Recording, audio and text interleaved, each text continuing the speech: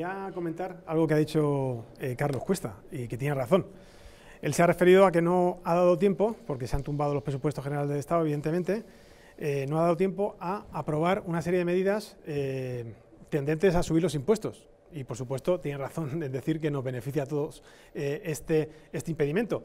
Pero también tengo que decir que hay un problema también al no haber aprobado estas medidas. Por tanto, la herencia económica, tanto si, si hubiera aprobado estos, estas, estos impuestos como, de hecho, no lo, va, no lo va a aprobar ya, la herencia económica ya se la deja al próximo, al próximo gobierno eh, pues, resultante de, las elecciones del 28 de abril. Y es una herencia económica, pues, eh, digamos, mm, absolutamente desastrosa, eh, como no podía ser de otra manera viniendo de un partido socialista. Y lo explico.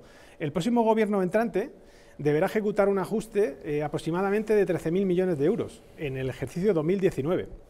Eh, puesto que el déficit de, para 2019 pues, eh, puede ser muy superior al dicho 13.000 millones de euros. Aproximadamente, 13.000 millones de euros, puesto que el, el, déficit para 2019 pues, puede ser muy superior al, al, pactado con Bruselas, que recordemos que es del 1,3%.